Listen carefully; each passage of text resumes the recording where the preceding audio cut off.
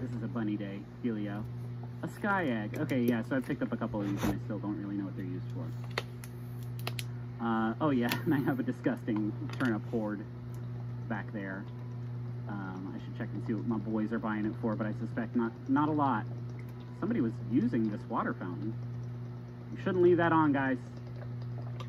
Water doesn't grow on trees. Um, and then this is my pride and joy. Uh,